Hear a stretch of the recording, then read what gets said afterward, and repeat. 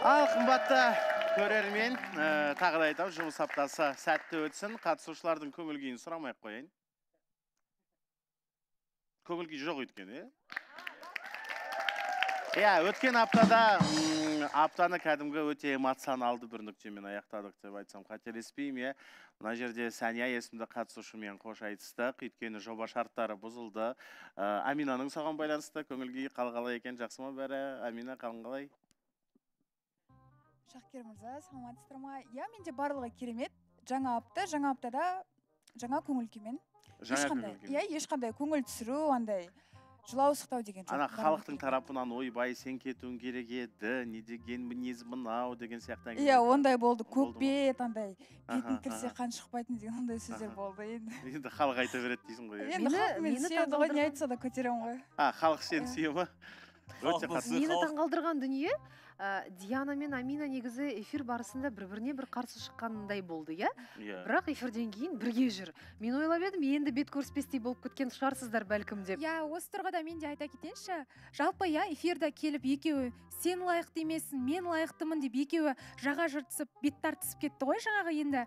Ә, шынымен де жаңағыдай бір бірлерінің басынан іс туған кезде бір бірлерінің кім екенін бір бірлеріне беттерін ашып тастады да кейін кім жертва сәния кетіп қалғаннан кейін ой негізі мен деген жаңағыдай ә, олай қалағым келген жоқ деп екеуі эфирдан кейін кәдімгідей бірге қол ұстасып құрбылықтарын көрсетіп кетіп негізі ана тоқ етеріне түсінбейтін- келгенде шынайы жүзі көрсетілді де содан иә иә кейін иә. мен шықпаймын дегеннен кейін дос бола қалды дейсің. иә иә дұрыс айтасыз. Жоқ былай болды да.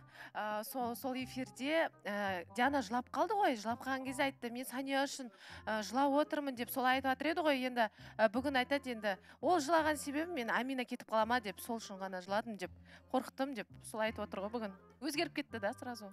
Диана рас па? Ә, қимастық болды бірақ ә, бір сәния үшін жылаған жоқ мен амина кетіп қалады деп қорыққаннан жылаған болатын сен сәния үшін жылаған жоқсың иә? Жоқ. Ал өзің аминаға қарсы дауыс бердің. Иә. А, бұларда сәл пәл камила ханым сәл логика покинула чат деген ба миына істемей ма? Бірақ жалпы сұрақ бар да осы екі қызға. Жалпы өмірлерін осы бір болайық жобасында сәл пәл қиындайды деген қорықпайсыңдар ма? Сол қорықпаймыз кезде сол сендер до того қорқып жылап өкініп қалсыңдар сол саняның орнына өздерің кетпеңдерші негізінде? Сол кезде кетіп жатсаң онда айтасың ғой жылап өкіреп мына жерде болашақта көре жатармыз харшайсың а? Болашақта көре жатармыз. Сен Ә, уайымдамай ақ қой оған. Уайымдамаймын все хорошо уақыт көрсетеді оны. ақ қойса болды. Негізі бар ғой ә, бұл санияның жобадан кетуі бұл дауыс берулердің беруі жаңағы болуы бұның барлығы бір қатысушылар белгілі бір сабақ алсын деген ниетпен ұйымдастырылған дүние ғой иә. Енді ақымақ адам жаңағы өз қателігінен де сабақ алмайды ә, жаңағы қарапайым адам өз қателігінен сабақ алады ал ақылды адам біреудің қателігінен сабақ алады яғни Жо- бірақ ә, ең қызығы ә, иә самғат микрофон ұстап жаңа мына жерде біз санияны шығардық. Яғни жоба шарттары деген жай бос орын емес ауа емес бастарына келген келгендеріңді жасай алмайсыңдар деп мысалы сол мысалды көрсеттік. Сания шынымен де жобадан кетті және қатысушыларға әсер етті ме бұл?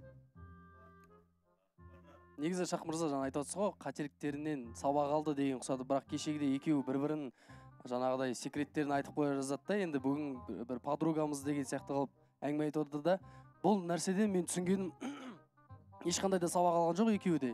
Болашақта бір әлі де бар сияқты менің ойымша. Ал қатысушылар жалпы жарайды амина мен диана ғана емес қой біздің ойбай бір жалғыз екі қатысушы. Қалған қатысушылар сабақ алды ма Жоқ, жоба шарттары бойынша? Мен чисто өзім сабақ алдым деп айтайыншы.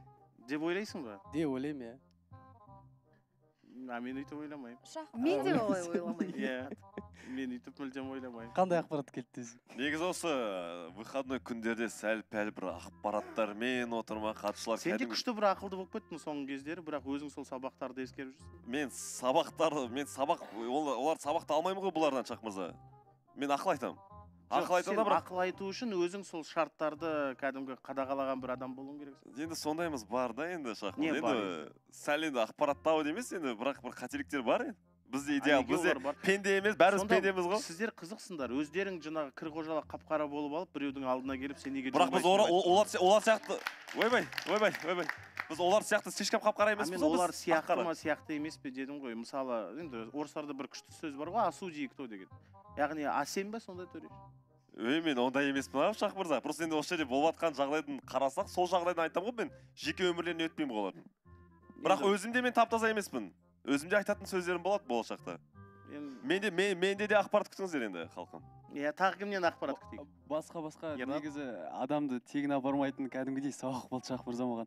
Артық адамдарды отырғызбайтын болдым көлігіме. Сол бір жағынан демалыстардың төңірегінде демалыстардың төңірегінде жоқ ондай. В основном тренировкада болдым. Сонымен видео түсіруге барғаным болмаса енді оның өзінде қыздармен емес иә жоқ оның өзінде өзіңмен өзің. Жоқ блогер қыз болды бірақ ұлдар да болды тұр. Екі бала бір қыз болды ғой. И анандай жерде күтіп алды. Одан артық енді мысалы қауіпті аймақтың ішінде болған нұрболат бар еді ғой. Нұрболат қалай енді? Сабақ алынды ма? Ә, сабақ алдым деп айта аламын иә. Күшті алдың. Енді б- а қандай бірден сабақ алдың мен соны біле салайыншы ә, жоба шарттарын негізі бұрыннан да білемін шах мырза бірақ енді соларды бұзбауға деген кішкене талпынысым андай кішкене босаңсып кеттім да мен негізі. Енді қайтадан өзімді қолға алу қолға алып жатырмын да. Қай, қай күннен бері қолға алып жатсың сәния жобадан шыққаннан бері. А солай ма? Иә кәдімгі кәдімгідей. Одан кейін емес жоқ сәния жобадан шыққаннан кейін. Шыққаннан кейін? Иә. Яғни жұма күнінен? Жұма күнінен бастап иә. Сенбі емес. Жексенбі емес. Сен- сенбінің жексенбіге өткен түні емес. Иә жұма күні. А жұма күні. Иә. Мен мен бүгін таңертең алдым ес жоқ сабақ? Мен бүгін таңертең шай ішіп жатқан сабақ алдым бұрынғы қателігімді кешіріңіздер шах мырза. Жоқ енді шах мырза анандай ыыы жаңағындай өрескел қателіктер енді болмайды деп ойлаймын өзімде. Бірақ жаңағындай достармен бір жаққа шығу дегендер уже қателікке салмайтын шығар ондай ұл- ұлдармен ұлдармен. бару? М. шүкір алла айтшы мыналарға. Енді шүкір алла деген атың бар ғой жігіттер не деген сұмдық? Ассалаумағалейкум қойсаңдаршы шүкір алла деген атыңмен айтшы шүкір алланың өзі де бұзған сияқты жаңадан бері түрін қарасағанда қашқақтап не істеп жатыр да қорқып қорқып а солай ма? балдармен біздер Иә. қыдырғанбыз тоже. Суббота воскресенье. Кіммен қыдырдық дейді? Дос балдармен дос балалармен қыдырғанына неге ұялып отырсың жоқ ұялып отқан жоқпын мен. Ол жақта тағы қандай қыдыр қыдыруда қандай ерекшеліктер болды? Ерекше деген ерекше жерде қыдырдық просто. Қандай? Жоқ қыздар дегенде бәрі болды. Бәрі болды деген не деген сөз? Клубта қыдырдық сен клубқа бармаушы едің? Ғой а? Сен клубқа жоқ бармаушы барып қалдық дос балдармен. Сосын? Сол. Шүкір алла біртүрлі болып отыр. Қыздармен танысып дегендей болған шығар. Ау? Жоқ жоқ қыздармен таныспаймын. Өздері жақындады мені. Жарайды. Бүйтейікші құрметті көрермен. Жалпы өткен жолы санияның мәселесін кәдімгідей сіздердің дауыстарыңызға салып бір бірлеп жіктеп дұрыстап тұрып түсіндіріп сөйтіп жасадық қой. Ә, енді ә, сабақ алама деген ниет болды. Енді құрметті көрермендер ресми түрде ескерту жасай салайын. Ертең неге деген сұрақ қоймаңыздар. Ә, егер күндердің бір күнінде қатысушылардың 90 пайызы ауысып он ақ пайызы қалып оның орындарына жаңа есімдер отыратын болса мына жерде ешқалай таңғалмаймыз неге деген сұрақты қоймаймыз. Солай келісіп алайық. Өт- өтініш менің тарапымнан үлкен өтініш. Өйткені менің түсінгенім жалпы ә, ерте қонған жаңағы бақ жаман деп бекер қазақ айтпайды ғой. Негізі бұл үлкен мүмкіншілік сендерге де өздеріңнің тағдырларыңа да берілген ертең отбасылық ә, жаңағы өмірде де егер шаңырақтарыңды осы жақта құрсаңдар сендерде тегін жаңағы отбасылық консультация ә, ел алдындағы назар ә, қолдаушылар ниет иә ана есінеп отырған. Айсажан ә, сыртқа шығып ұйықтап келсең болады бара ғой мен айтқан едім шах мырза менде ауа жетпейді таңертең и барып тыныс алсашы. Жоқ кешірім сұраймын. Енді адам сөйлесіп отыр ғой сөйлеп отқан енді маған ауа жетпесін дейсің шах мырза сол. Шық та тыныс ал. Кешірім сұраймын шах мырза болды. Сол ә, жаңағы айтып отырған бұл үлкен мүмкіншілікті пайдалана алмасаңдар ол мүмкіншілікті пайдаланып жүзеге асырып кәдімгі өзінің бақытты өмірінің кілті қылатын бір тұлғалар табылу керек деп ойлаймын. Бірақ өкінішке қарай ол тұлғалар мына жерде көбісі отырған жоқ. Сондықтан жақын арада ә, қатысушылардың енді түбегейлі 90 пайызына дейін барлығы өзгеруі мүмкін өздеріңіз іштеріңізден біліп отқан шығарсыздар. Иә кім не бүлдірді? Ә, демалыс кездерінде не істегендеріңізді қатысушылар жұма күнгі эфирден кейін бұндай м, жалпы ә, ақпараттармен біз аптаны бастаймыз деп мен мысалға мүлдем ойлаған жоқпын. Көңіл күйім түсіп отыр. Шах мырза да әп әдемі көңіл күймен келген еді негізі. Бірақ редакция алқасынан білген ә, жаңағы ақпараттарымыздан кейін сіздерге не айтуға болады жалпы? Ол қандай ақпарат не ақпарат десеңіздер қатысушылар үшін ең ыңғайлы ә, сәті қазір болып тұр ғой енді. Қазір айтайық құтылайық деп. Бірақ жоқ қатысушылар. Ә, жасаған дүниелеріңізді ең ыңғайсыз сәтте айтуды енді ә, көздеп отырмын. Күтпеген кезде болды ұмытты көрмеді шахкерім өтіріктен білгендей болды білмей қалыпты ғой деген кезде естеріңе түседі. Содан кейін ә, жобамен не үшін қоштастым деп ә, маған сұрақ қоймайсыңдар. А, біздің демалыстарымыз керемет өтті. Өйткені Иә. мына жерде кәдімгідей ә, лағып жүрген өзіне не керек екенін білмей жүрген қатысушылардың араларында жақсы жауһарлары жоқ деген сөз емес бар. Және олар өз мақсаттары мен міндеттеріне жетіп жатыр бақытына қол жеткізіп жатыр. Дәл сондай мысалдың біз ә, сенбі күні куәгері болдық. Біздің ә, бесінші маусымның қатысушысы міне кетті деген сөздің амбассадоры еділ сәуле екеуі алтыншы маусымның еділ мен сәуле ә, үлкен тойына шақырып сол тойдың куәгері болдық. Қошеметтеп қояйық. Иә нақтылай кетсек ұзату тойында болдық Иә. сәулежанды ұзаттық барып өз қолымызбен және бүгін оларда неке қию рәсімі өтеді. Және сол рәсімнен кейін осы студияға қонақ болып келеді. Иә өздерінің ақпараттарымен жақсылап тұрып бөліссін деп а- арнайы жығысты болсын деген ниетпен осы студия төріне шақырдық. Бірақ білмеймін мына қатысушылардың түріне қарасам че то жұғысты болмайтын сияқты. Хош ә, жалғастыра берейік өз миссиямызды. Ресми түрде өйткені танысып жатқан құралай деген біздің қатысушымыз бар. Пока что ортаға шақырайық. Келіңіз.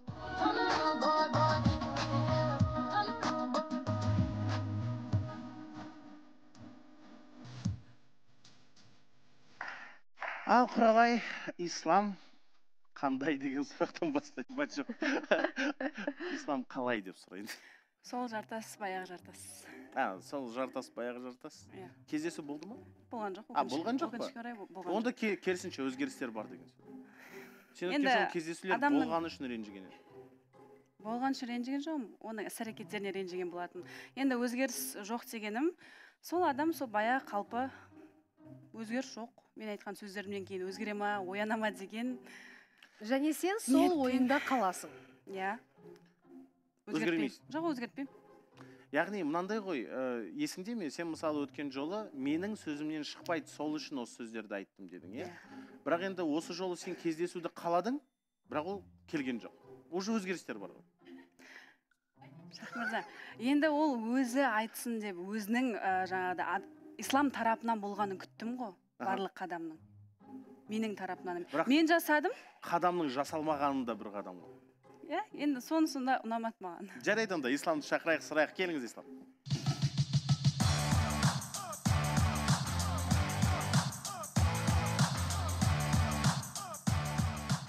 Ислам қалыңыз қалай? Жақсы жақсы аллаға шүкір. Көңіл күйіңіз жақсы ма? Жақсы. Қызбен кездеспепсіз ғой. Босамады. Қолым босамады ауырдым. Жұмыс болды еще. Енді кездесу болмағаннан кейін видео да жоқ. Өткен жолғы әңгімеде ең қызық бір дүние бүкіл қатысушылар сізді жақтауға тырысты сіз болсаңыз онда тұрған не бар дедіңіз иә и нормальный сөз нормальный атақ че жүре береміз дедің де. Содан кейін қыздан қорқып па жоқ әлде жаңағы көңіл қалып па жақындамай қойыпсың жоқ ол да бар негізі. Бірақ эфирден кейін айтты маған. Неге ол сөзді айттың деп сосын мен сұрақ қойдым. Ислам неге сонда эфирде отырған кезде бетпе бет неге соны шешпедік деп неге үндемей қалдың эфирде? деп айттым. Білмеймін. Е ладно деп қоя салды. Эфирде айтқан жоқ неге ол сұрақты өйтіп қойдың деп. Эфирден енді бәлкім эфирде мағынасын толықтай түсінбеген одан кейін шыққаннан жоқ кейін қазақшасында барлығын камила ханым өздеріңіз көрдіңіз орысшасында қазақшасында жеткіздік қой. Деп барлығын білмеймін түсінбеді деп айта алмаймын. Жоқ әлде шыққаннан кейін таныс тума туыстар жазды ма? Қалай ондай сөзді басыңнан асырып жатсың деп достары жазды ма ол да бар мамам да бар. Мамам да айтты әңгіме. Мынауың не деді ма? Ислам. Ну вообще осы туралы өткенде студияда болған нәрсе. Енді сізді кінәлайтындай ештеңе болған жоқ қой ол тек қана құралайдың жеке ойы. Ойы ма? А- анаңыз құралайға ұрысты ма жоқ негізі қалай болады? Негізі қалай болады? Студия біткен кезде кешкісі мен жазамын. Мхм. Ол айтады қолым бос емес деп айтады мхм қолым босағаннан кейін жазамын деп айтамын өзің жазамын деді мен айттым мейлі жарайды дедім содан кейін вот содан кейін өзі жазбайды. Иә өзі жазбайды. Содан кейін бірақ өзі- айтты точно жазамыз деп. Анау мынау айтты. Иә жазамын дедім. неге жазбадым? Себебі кеш болып кетті. Ыыы сосын уже сегізден кейін жұмыста болады ғой. Жұмыста енді шумный бос болмайды. Өзі диджей болған соң енді телефонға қарайтын уақыты болмайды ғой. Сосын қарадым жазайын деген кезде тик токқа кірсем сол желіде эфирде отыр екен. Қасында қыздары бар екен. Содан кейін а онда уақыты жоқ шығар онда ладно жазбай ақ қояйын. Мен де мешать етпей ақ қояйын деп жазған а қыздар болыпты ғой қасында қыздар жоқ ол қыздар болғанда ол постоянно клиенттер болады заведение каждый заведение клиенттер болады өз өз иә иә иә келетіндер. Бірақ кеше де өзің айттың ғой иә қыз достарым болды қасында дедің ғой иә қыз достар болады бізде. Қыз достары бірақ оны сұрап едік қой иә тілек есіңде ме? Сұрақ. Айттық қой енді. Бұл диджей жігіт.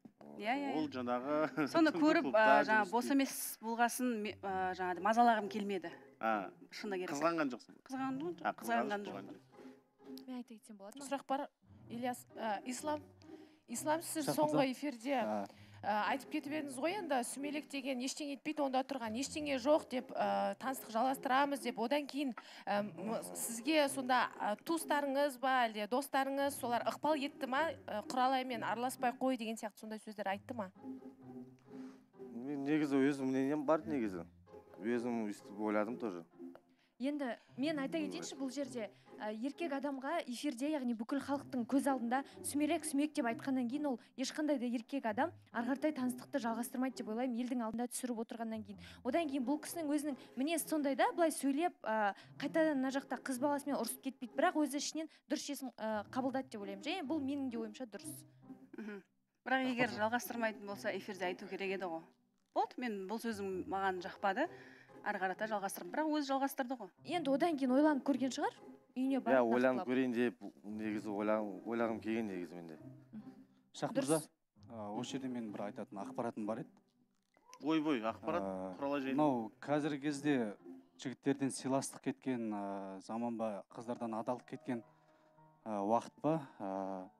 Оның барлығын осы бір болайық жобасы жобасына келгелі осы бір болайық жобасының нағыз шынайы жоба екенін жалпы өзім көзім жеткендей болып жатыр. Себебі қазақта мынадай бір сөз бар ғой. Ес адам а, екі адамның ортасына есі кеткен түседі дейді.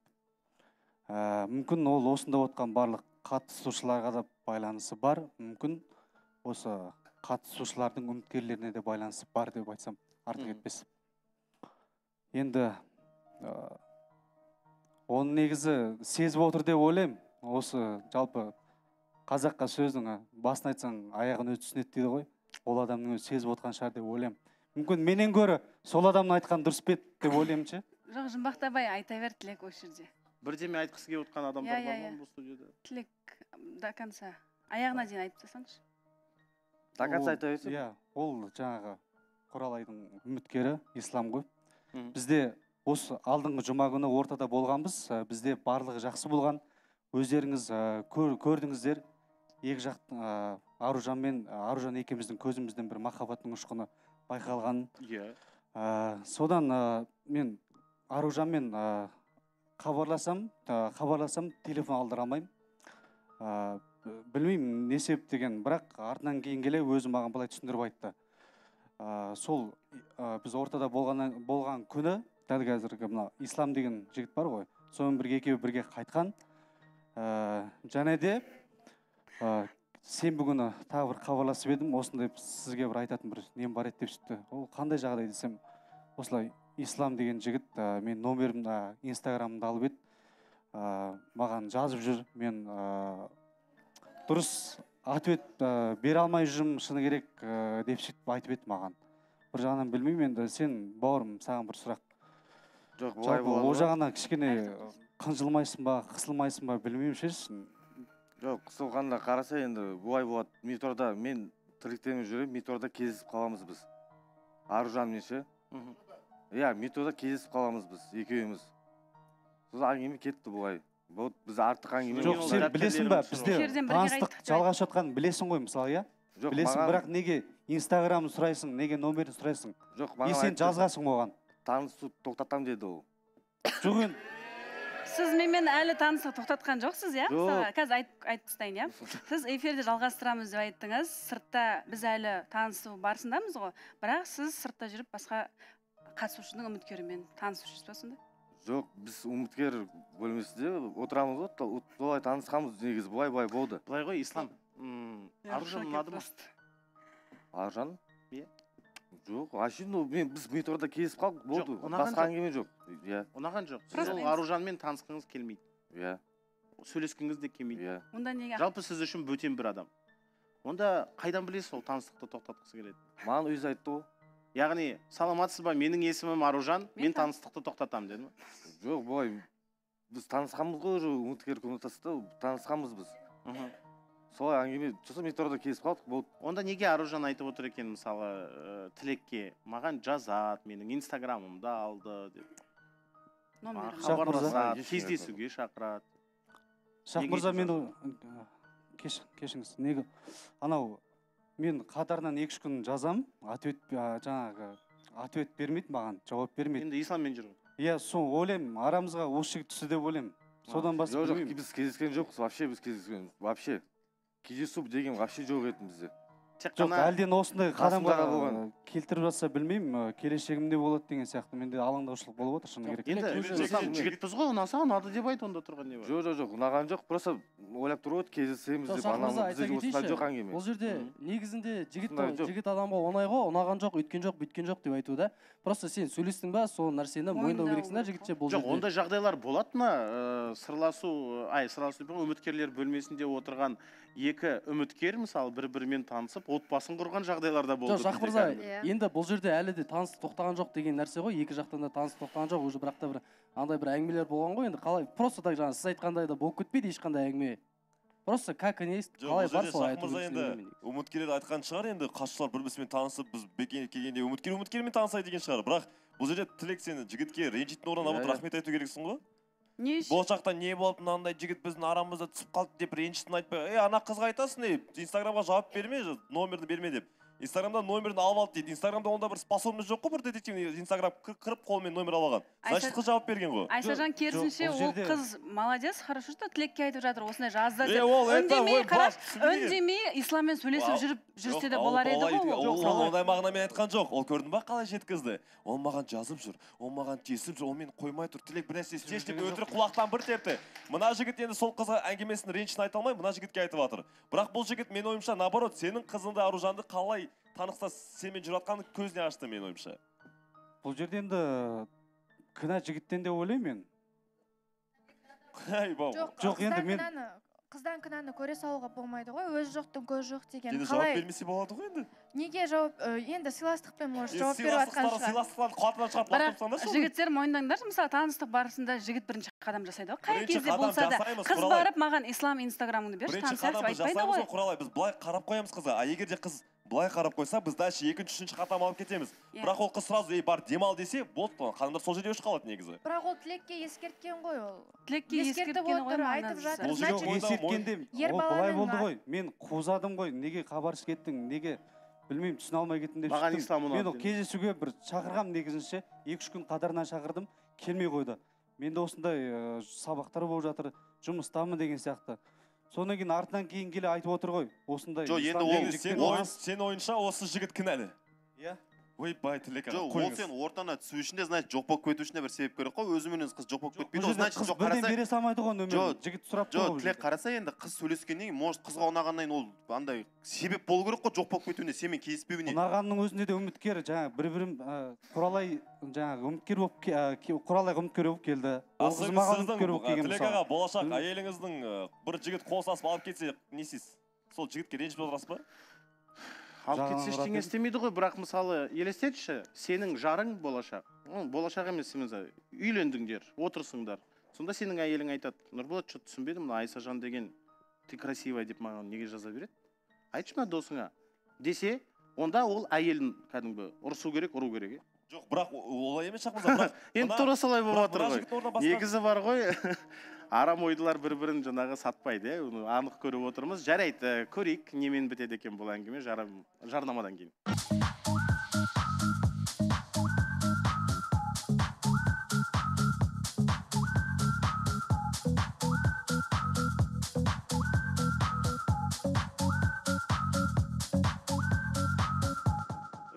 Жаңалықтармен тілек бөлісіп жатыр. Сөйтіп енді құралаймен болған таныстықтың салдарынан ә, ислам тілектің үміткері аружанмен сөйлесуге ынта білдіріпті. Ә, енді сондай бір дүние болыпты. Тілектің көзінше қазір сіз кәдімгі екі жастың арасына түскен ессіз болып отырсыз. Бірақ артық әңгіме болған жоқ бізде вообще. Енді артық әңгіме болмаса тілекке айтыңыз. Әйтпесе ә, кәдімгі қызғанып отырған жігіттің әңгімесі ғой мынау енді. Жігіттердің арасында шешіліп жатқан дүние түсінбеймін артық әңгіме болған жоқ бізде. Просто әшейін ал егер мысалға артық әңгіме болмады деп жатсыз ғой бірақ қыз баласы өзінен өзі келіп сізге мен тілекпен таныстықты тоқтатамын деп айта ма? Демек араларыңызда ол тақырып қозғалып жатқан болу керек қой. Иә? Бұл жерде камила ханым ыыы исламның өзі де айтқан ғой. Бізде де осындай дүйсенбі күні барған кезде қарым таныстық тоқтайды деп айтқан ғой. А екеуіңіз бір бірлеріңізге Иә, сөйтіп айтқан ғой. иә? Иә. Білмеймін сонда бұл жер бұлар үшін кәдімгі ойын көрсететін алаң ба? Білмеймін мен түсіне алмай отырмын ше. Шах мырза мен айтсам бола ма? Сендер бұл жер бұл- сыйла- сыйлап келдіңдер ма? Қызына- дейін қызына сол сұрақтарды қойдың ба негізі тілек? Айс шах мырза мен мына жерде жоқ саған да сұрақ та сол қызына сондай сұрақтарды қойдың ба? Жалпы. Ай- айсажан мен айта кетейінші мына жерде тілектің ренжитін орны бар. Мен қыз баласы ретінде аружанды түсінбеймін. Неге? Себебі басында жоламан жоламанды өзі таңдап келді. Ол рен ортаға шығып рен, ренішін айтты жоламан көңіл бөлмейді деп. Бірақ тілек таңдады. Тілек көңілін білдіріп барлығын сыйлығын берді көңілінен шығарды. Үшінші менің үміткеріммен танысты. Мен айтамын біз ел алдында жүрген үш жігітті білеміз. Ал ел алдында жүрмеген қаншама жігіт бар деймін да онда мен осы сонда ислам мен аяқтаған жоқпын әлі. Аяқтаған жоқпын. қыздарға таңғаламын. Ыыы түрі десе түрі бар қыз. Ұстамды болу соншалықты қиын ба деймін да қыздарға айтамын ұстамды болмай құралай сияқты сүмелек деп отырыңдар. Бұл жігітті де түсінуге болады. Өйткені сенімен танысып жүргенде сен елдің алдынан сүмелек дедің. Иә. сол ол сөзге лайықты бауырым. А? Ол сөзге лайықты болып тұр ғой. Енді ол жағын білмеймін енді сен айс кішкене қоя тұршы жарай жоқ мен просто тілек ашуланып тұрмын ше саған артық бірдеңе жоқ саған мүмкін. сені түр- түсінуге тырысатым да тілек. Сен- түсінсең сен бұл жігітке негізі бұл қараш логи логический сұрақ қойып келейінші саған. Егер де болашақта қыздың өмірінде бір бес он жігіт бір арасында көсіп қалған жігіттер болса и сол жігіттерге барып әме тілекпен сән әшейін жүрмін ғой танысты тоқтатамын ғой бір сәл пәл деп оларға үміт беріп кішігірім саған беріп жалып потом жалып жатса мына жігіттер өз өзінен маған жабысады сен сол кезде не істейсің? Мен айтсам құралай бола ма? айтқан шах мырза сөздерді айтады қараңызшы бұл жерде менің ойымша екеуінің таныстығы басталып қойған сияқты. Өйткені екеуі танысады ә, бір біріне интерес болады. А, ә, аружан ә, тілекке жауап бермей қояды. И ә, өткенде ислам таныстықты жалғастырамын деді да енді кеп таныстықты тоқтатамын еще менің шешімімсіз тоқтатып тастапты уже. Сосын мен таңғалатыным ә, шах мырза. Ә, менің шешімімсіз ешқандай менің тарапымнан ешқандай жауап болған жоқ қой. Тоқтайды либо жалғасады. Соңғы эфирден кейін. Бірақ инстаграм желісіне уже барлығына жа- жария салып біздің таныстық тоқтады дейді. Маған хабар жоқ тоқтатамын деп айттым иә және де менің бір қолдаушыларым айтқаны бар айдананы таңдап келемін депті. Және де басқа бір жобаға барам деп айтыпты. Мен соған таңқаламын сонда мен үшін маған сонда әшейін келді ма мен түсінген жоқпын. Вроде жиырма алтыдағы еркексің. Серьезный қадам жасау жасай алмадың ба сонда? Или сен мына жерге ойнау үшін келдің ба? Мен баруым керекпін. Осы сөздерден кейін. Осы сөздерден дұрыс дұрыс айтасың осы сөздерден кейін. дұрыс айтасың иә. Осы сөздерден кейін болашақ жоқ дұрыс айтасың. Бірақ сен осы жерге келмес бұрын қандай оймен келдің сонда? Мен соны түсінбей отырмын қандай оймен сен сонда тек жұрттың алдына көрініп кетейін көрініп кетейін мені? басқа үміткерлермен. Мен сөйлесіп жатырмын шүкір алла ойымды бөлмеңдерші құдай үшін. Сонда сен мына жерде түсінбей отырмын ислам. Сонда сен мына жерде қатысушыны таңдап келіп бірақ басқа жағынан үміткерлермен танысып кету үшін келдің ба дәл солай былай қарағанда үм- үміткер көмектесті біз онымен бірінші танысқанбыз негізі. Сенімен бірінші танысқанбыз негізі. Иә иә болды. Сенің вообще ешкіммен шаруаң болмау керек қой маған келген кезде. Үміткерлер келе берсін бірақ сен тіке кел тіке енді менің жаман ой жоқ қой оған. Вообще қалай жаман ойын болмайды егер уже қатысушы а, адамы бар адамға қалай номерін сұрап данныйын сұрайсың сен? Қызығушылық данный қашан сұрадым мен Сұрады деп отырмын. ол қашан ол? Үш күн ба екі күн бұрын болған ол ол. Знаешь по Сұрадым, факту сұрадың ғой сен По факту иә сұрадым мен иә ислам сен екеуің бір біріңе байланысқа шыққаннан кейін біздің а, ортамыз кәдімгідей с- не болып кетті Суып бірін кетті, таппай иә. қалдым Тілек аға не деп ше отыр? оны да Ортада таппай қалдым отырған кәдімгі арамыз кезде суып кетті Камила ханым тілек Шахмырза ағаң көрдіңіздер. ренжіп отыр да енді менің ұнатқан қызымды Жоқ, тартып айсен, алып жатырсың деп. жоқ барлығымыз ортада шыққанда көрдік қой тілек пен аружанның көздеріне жерде қандай жалтылдап Шахмырза- бір бірлері үшін кәдімгідей Иә, оның үстіне тілектің Иә, кәдімгідей бәрекелді. сұрап алған тілеп иә. алған үміткер еді қалай ұнап жүрген еді әрине ренжиді Ә, ислам ә, айдана жайлы айтқан әңгіме рас па айданаға барам ол әшейін ол приколмен айтқан шығармын бірақ неге айдана? қасымда жүрген жүрді ғой біз киноға барған кезде болды ғой қасымда. Сол кезде ұнатып қалған шығар мүмкін. А сол сол үшін ба бірақ ол кезде қасында қасым болған үміткер. Ол шын шын оймен айтылған жоқ ол. Шын оймен айтылған жоқ ол. Алдында ислам маған инстаға жазған екен. Мен кейіннен көрдім кеше көрдім ғой деймін. Ол мен құралай туралы мен сұрайын дегенім просто осы кезде мен иә мен жаздым мен саған. Мен саған жаздым не үшін жаздым? А, құралай өткенде потому что жоғалып кетті ғой ол. Деп. жазуға болмады ма? Мен потому что сен өткенде сен постоянно қасында боласың. Сол үшін мен жаздым оған бірақ маған жазбадың сен. Өйткені сен қаяқтан білмеймін маған жазуға болмайды бірақ айданаға жазуға болады жоқ иә енді Мазалап жігіт саған бір тосын сый жасағысы келген бір шығар бір мынандай вывод жасаса болады. ма бұл жігіт негізі бұл свидание ә, ислам мысалы құралай сені таңдап келді иә барлық қыздардың ішінде сені таңдап келді. И жақсы свиданиялар жасады жақсы гүл шоқтары болды. Бірақтан да не үшін келдің деп жатсың ғой енді исламға? Бірақ ислам сүмелек деген сөзді есту үшін точно келген жоқ қой мұнда ол сүмелек деген сөз ә, жаңағыдай жаңа айтты ғой мен ә, үміткерский бөлмеде танысып қойғанмын уже олмен деп. Получается ол просто так шыға салып таныса салған сияқты. Неме- негізінде менің ойымша енді жаңа өзің аузыңнан шықты ғой сол сөз. Бірінші ол қызбен танысып қойғанмын потом сенімен танысып қалдым нечаянно. Ренжіме енді бірақ сол ұнап қалды деген сияқты қылып сондай әңгіме Сондай қылып айтты. Жоқ, мына жерде үміткерскийда просто танысқан. А одан кейін метрода иә метрода емес біз инстаграм случайно алған? қалдық біз. Біз менде данный бар вообще жоқ еді. Вот вот сол сол метрода ғана телефоннан жаңа инстаграм Майра алған сен аузынан шықты ғой жаңағы сөз. Біздер үміткерский бөлмеде танысқан кезде сөзіміз жарасып күшті болып оттық деген қысатып әңгіме айтты. Содан кейін барып саған шыға салдым деген сияқты қылып естіп тұр маған болды еще мына жерде айтып жатыр ғой майра сен сүмелек деп сенен сөзді есту үшін келді ма? дегенде өткен жолғы осы эфирді ше осы сүмелек деп айтқан күні біз әкем екеуміз көрген болатынбыз. Әкем айтқан че то құралай дұрыс емес айтты деп. А қазір мына жерде мен қос- қосылып отырмын негізінде. Құралай дұрыс айтқансың ислам натуре сүмегіңнің тірлігі болып тұр мына жерде ше. Айданаға бір жазғансың онда сен кімсің, үмітке бір жазғансың. Кімсің? мен сүмелек дейтін не Сен онда қыздың- сен кімсің? Сен тура мен сол қыздың- жағдайдасың. қыздың қандай например істедім мен қыз келсе мен әрекетімді жасаймын керісінше жоқ сен де сен де ақпараттан шықты ғой. Мына жерде өсек әңгімеден онда сен де мен сол ол жерде қатарға жатасың ба? Мен ол жерде өзімнің жоқ просто я жоқ просто. Жоқ бұл жерде бұның темасы болды болып жатыр ғой. рахмет. Жоқ, Айсажан, біз бұл жерде исламды талқылап жатырық, бір Ерланның жағдайына неге кіріп жатсың негізі сен? құралай ерке самооценканы тиіп жатыр көріп жатыр байқа самооценка сәл пәл түсіп қалып бірақ бұл жігітке еске алайықшы иә сенімен танысуға келді. ол жігіт саған үйленген жоқ жігітің не емес ол басы бос жігіт. Мына жерге кімге келеді сенен кейін басқа қыз таңдаймын оның өз құқығы бар бірақ таныстық тоқтағаннан кейін құқығы бар. Айсажан мына кеттің, жаным правиласын ұмытпа. таныстық тоқтайды сол кезде білгенін істесін.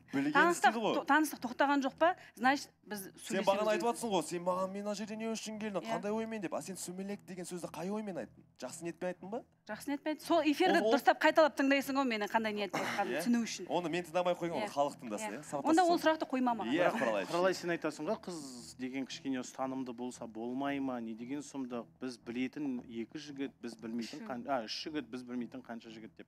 Бірақ енді қанша жерден біздің құқығымыз бар? Мысалы қазір мен аружан болсам мысалы былай ойлайтын едім. Құралай сен қасыңда отырған мысалы мына қыздарға соны айтуға дәтің бармайды да айдалада жүрген маған келіп сен ұстанымды болмайсың ба деген сияқты әңгіме айтасың. Жоқ мына жерде неге сен мысалы тура сөзді сол сөзді келіп мысалы кеше дианаға айтқан жоқсың неге аминаға айтпайсың айтсаң да олар түсінейін деп тұрған жоқ. уақытқа дейін неге оларға болады да маған болмайды дейді жоқ беттеріне айтып жүрмін осы уақытқа дейін мен істеп жатқан іс әрекетім дұрыс Бүгін емес біз ертең сұрақ қойған аружан ортаға келгеннен кейін де өзіне айтамын. қазіргі шығып ғой. жатырған ойым ғой менің қарашы мысалы мына қоғам мына отырған қатысушылар. Сен мысалы тілек кімге ренжіп жатсың сен қазір исламға ренжіп Исламға жатсың иә? иә. бірақ исламға ренжуің қаншалықты орынды? Өйткені ойын шарттарын құрған сендерсіңдер. Мына жерде қанша енді үшінші ма төртінші апта болды ғой? Әр күн мына жаққа келемін де бір махаббат жайлы жақсы жақсы бір жаңа тақырып жайлы бір әңгіме қозғайық десек бір ай бойы не талқылаймыз? Сен неге жоба шартын бұздың ал сен неге жоба шартын бұздың? А сен неге мынаумен танысып жүріп анаумен сөйлесіп жүрсің? Сен неге былай? Осы әңгіме талқыланбаған бір күн болды ма? Демек енді қара ә, мына қатысушылардың барлығы тіпті бір қатысушыдан айырылып санияны шығарып жіберген күннің өзінде ертесі күні барды да жоба шартты бұзды. Ертең мысалы оны жіктеп түгел түс- түстеп ә, жаңағы есімін атап айтамыз. Бірақ сендерге болады да сондай иә? бір сәтте 25 мың адаммен сөйлесуге алтауымен кездесуге жаңағы үшеуімен жүздесуге болады да ал үміткерлерге болмайды деп тұрсыңдар ма? Мен мысалы тілекке шынымен де жаным ашып тұр өйткені тілек бұндай дүниелерде ә, жаңағы байқалмаған. Тілек өзі аружанды таңдап қолын әрең жеткізген жігіт. Бірақ енді қарашы тілек қатысушылар қалған қатысушылар ойын шарттары мынандай. Адалдық дегенге қарамасаң да болады. Бір сәтте елу бес мың жігітпен сөйлесе бер деген сияқты ойын шартына қасында отырған қатысушылар құрғаннан кейін үміткер ойлаған шығар а бұл норма демек мен де онда тура солай жасаймын деп. Қалай ойлайсыз құрметті көрермен? Жарнамадан кейін тоқ етер жауабын алайық.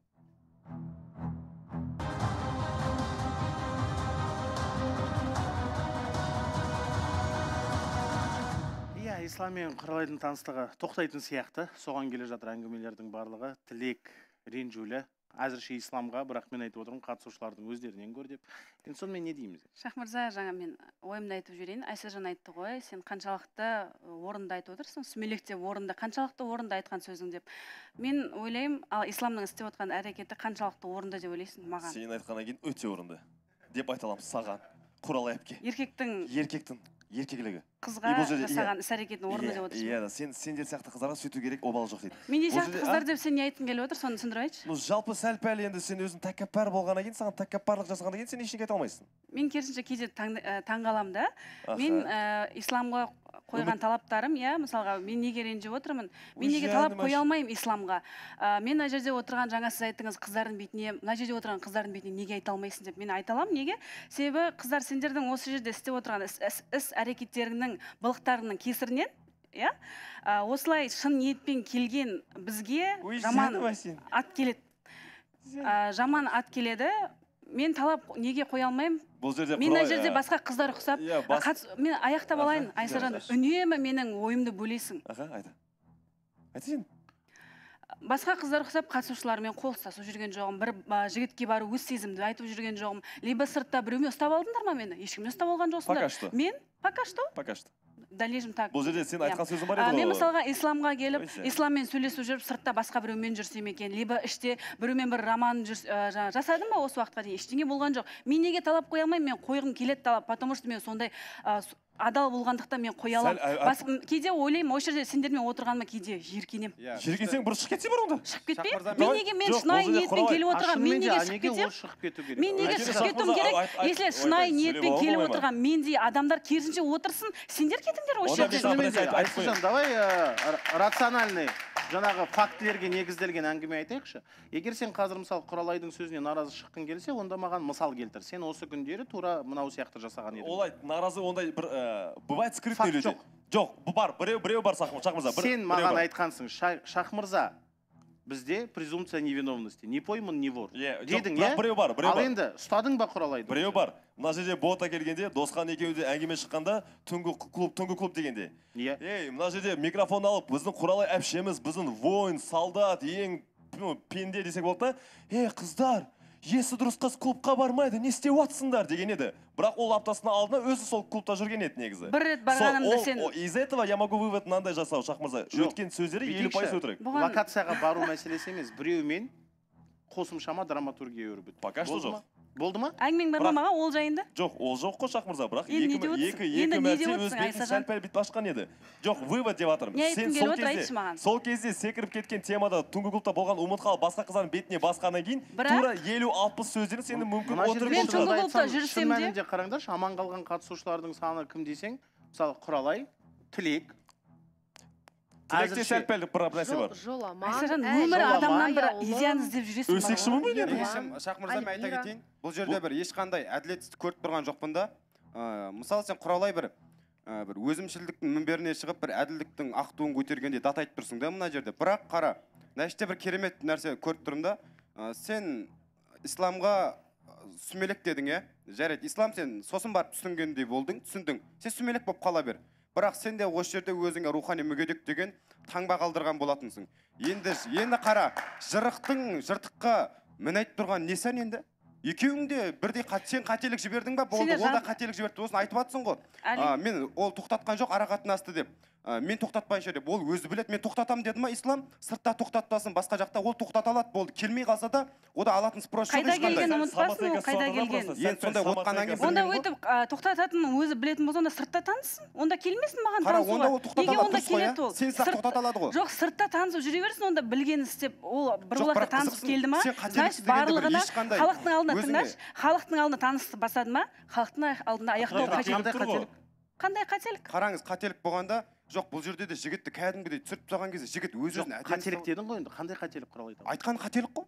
Сол сүмелек деген сөз қателік. Жігіт соны дәлелдеп отыр ғой қазір. Дәлелдегенде шах мырза ә, сол кезде дәлелденген жоқ еді ғой. Жоқ енді ол кезде авансым айтты да қазір дәлелдеп отыр ғой. Мысалы үлкен сынақ болды ғой жігіттер. Мысалы айсажан сияқты жігіттер айтады сен сияқты қыз айтқаннан кейін мен бардым да иә шынымен сүмелек екенімді растадым. Сендерге солай істеу керек деп.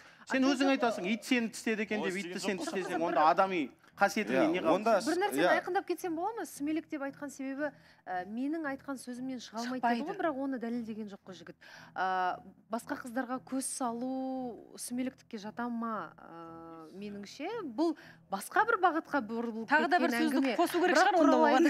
ең басында қате болған сияқты меніңше. Өйткені жігіт бір емес бірнеше рет гүл шоқтарын да сыйлады. Әдемі кездесулерге де апарды. Өте әдемі видеомен келді. Және сол кісі сол сөйтіп отқан жерінен сен сүмелексің деп бетін қағып тастады мысалға. Камила ханым сол Ол эфирде қателік болды. Тікелей сол ғой. сол эфирде қарасаңыз байланысы бар ғой. Аха сол эфирде қарасаңыздар маған келіп айтты сен менің айтқанымнан шықпайсың сен сүмелексің деді. Мен енді сүмелек емес екенімді дәлелдеу үшін сол қызды мойындатуым керек ең әуелгі баста демек ол қыз қандай ниетпен айтты? Сен менен давай мен саған бір сөз айтамын сен менен қаш та бір қызбен жаңағы көзіме шөп бірақ біздің план қыздікі. Мен тура сол планмен жүріп кетсем онда мен шынымен де сүмелекпін өзімнің жаңағы ойлау қабілетім мен стратегиям ашақ жоқ мырза ауыл не қылады? Өмірді қинатып просто басқа қыз таңдап кетеді ғой болды ғой. И бұл жерде тілек тілекті есі ой. Аман қалған немесе жігіт айту керек еді. Окей естідің бе? Осы жерден бәрі тоқтасын. Сау Сол эфирде тоқтату керек еді. енді ол енді Ол үшін- сол үшін мен келдім ғой бүгін. Бүгін келіп тұрмын мен. меніңше ислам тез реакция бере алмайтын сияқты ондай ғой ситуацияларда. өйткені ең басында жалпы сүмелек сөзінің мағынасын түсінген жоқ.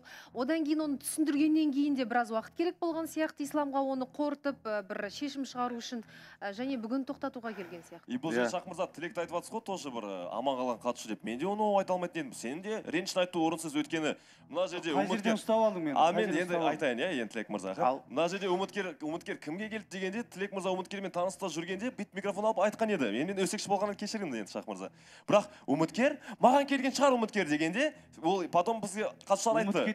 Тұра тұр мен айта салайын тілек мырза иә қас- ашуланбаңыз иә и и сосын а иә менде үміткерім бар ғой есім қалай дегенде қалай еді а аружан ба деп айта салды. Сосын ол айтқан еді ой бәрібір екі үш үміткер қабылдаймын дейді так что біз аман қатысушы тілекте жоқ шах мырза. Ол да реніш айту бірақ ол орынсыз айтқанмен істеген жоқ қой. Іс әрекет жасалды ма? факту ба өз сөйлесейінші өз жауапкерсің братан? Айсажан сен де маған қатысты қыздар жігіттер егер сіздер үміткерлеріңіз бола тұра ол үміткерлеріңіздің бар екенін ұмытсаңыздар ол үлкен айып. Ол үлкен қате. Ал енді, иә. жалпы үміткерінің бар жоғын есінде болмаған бір қатысушы екінші маусымда емес пе шах мырза? Жобадан қуылып кеткен ол үшін. Ол ол өте дұрыс емес тілек. Бірақ мен жаңа ғана әлеуметтік желіме айтып жатырмын. Маусым өткен сайын ә, тенденциялар мен трендтер өзгеріп жатыр ма мода өзгеріп жатыр ма? Қазір жаңағы арсыздық пен арамдық кәдімгі модаға айналып кеткен бе? Барлығың сондай болуға тырысып жатсыңдар. Мысалы қарашы мен келісемін сенің сөзіңмен. Үміткеріңнің бар екендігін ұмытып қалу үлкен қате. Бірақ қазір бүйтіп саралап отырсаң мысалы жетпіс пайыз қатысушылардың түріне қарап отырған кезде тілектің үміткерінің бар екендігін ұмытып қалғаны ең жаңағы жеңіл нелердің ең жеңілі сияқты ол кезде катастрофа еді. Иә. ол кезде ол кәдімгідей Иә, катастрофа еді иә үш төрт маусым бұрын. Бірақ қазір бұл қатысушылардың көзімізді бақырайтып тұрып ал не істеп аласың ал деп жасап жатқан әрекеттерінің ішінде тілектің үміткерінің бар екендігін ұмытып қалуы ең әлсізі ең сондай жаным ау сол үй қой ей кішкене есіңе түсірсейші деп айтатындай бірдеңе болып қалды. Олай емес пе не? Мысалы аминаның жасап жатқандығының екеуінің салыстыруына келе иә әрине жер мен көктей. Диананың жасап Ә, бірақ жатқан мына жерде ә, тілектің кішкене ә, қалай айтсам екен өз сөзіне өзі қайшы шығу ма? Ә, жалпы ренжіп отыр ғой енді қазір исламға иә? Сен менің ұнатып жүрген үміткеріме жазып жүр екенсің деп. Бірақ өзі осыдан екі үш күн бұрын үміткерінің бар екенін есінде де жоқ та мысалға. Сол себепті мен түсінбей жатырмын. Сен расымен де ренжулісің бе? Жоқ әлде и соны сәл пәл орынсыз дедім да соны. ренішің ашуланып жатқанның жігітке атылып жатқанның шы жалпы өз махаббат өз қызымен шешу керек та негізі? Бауырым аузын жабасың ғой деймін сен. А, жап аузым? Аузыма не бар тілек мырза? Тілек мырза. или сіз де мені барып ұстап алып айырасыз ба жоқ мен сұрақ қояйын да аузымды жап неге айтасыңдар барлықтарың неге қай мағына мен айттым? сөздің арасына кіріп отырсың ғой біз бағана жоқ мен саған сенің қателігін жасаған бетіне айттым. Тура сен исламға айтқандай. Бірақ неге ол саған аузыңды жап деп айтпайды а сен маған айтып жатрсың бауырым мен Қалай? шаруаң болмашы шаруаң болмасын біз негізі бір барлықтарымыз бір болайық деп отырғаннан кейін бір отбасыда негізі бір біз талқылаймыз братан. Сен кәдімгі мұнда сот сот иесі сияқты отырсың ғой жоқ сұрақ тілек мырза. Тілек мырза мына ерлан аға сөз беріп жатыр ма? Не істеп жатыр екендер енді мен айта кетейінші одан кейін тілек мына жақта ол менің жүрегіме төрт адам әйел дедіңіз ба сияды деп айтқаныңыз шын ғой ол нәрсе өтірік емес. Одан мен айта кетейін мына жақта енді айтады мына жақта сіздің де айтқаныңыз қайталап отыр ғой бүйтіп айтып отырсыздар енді иә айтамын асықпай айтамын өзім білемін тыңдаңыз. Ә, мен айта кетейін мына жақта құралай енді мына жақта ә, бәріне көпірек ой топырақ шашпай нақты айтсаң иә біздің бәрімізге топырақ шашып айтып отырсың ғой. Сендердің араларыңда отырғанымызға желкенемін деп. Бірақ мен алдында айтқанмын сен ә, айтты деп айттым ғой который маған неге танымал адам келмейді деп. Солай сен айтқансың. Бірақ эфирде сен оны мойындаған жоқсың. Бірақ жарнамада сен тұрдың да маған неге арамызда болған әңгімені айтасың дедің. Иә. мына жақта ә, сен сияқты кішкене андай ә, қуланып өтірік өзін жасырып отқанша солай шындықты айтып отырған. Дұрыс. Сен егер жігітті жақтырмаушылық болмаса сен де ана қарапайым келген жігітті се- ана жігіт те басқа қызға көз бұрмайтын еді. Сен аялап алақанда ұстайтын жігіт деп ойлаймын. Сен өзіңе жақтырмаушылық болғандықтан солай болды. Бұлар, және де айтқаныңды мойындасаң аха.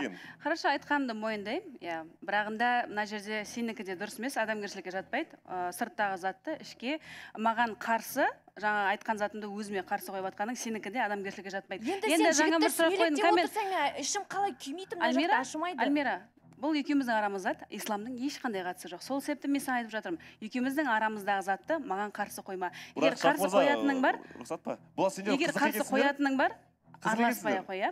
Және де жаңа айтып жатырсың мына жерде көпке топырақ шашпа деп. Иә мен айттым амина диана галина істеп жүрген тірліктеріне байланысты бізге жаман атақ келеді деп сол себепті айтып жатырмын. Осы жақта мен айтпай ақ та өздерің конкретно біліп отырсыңдар.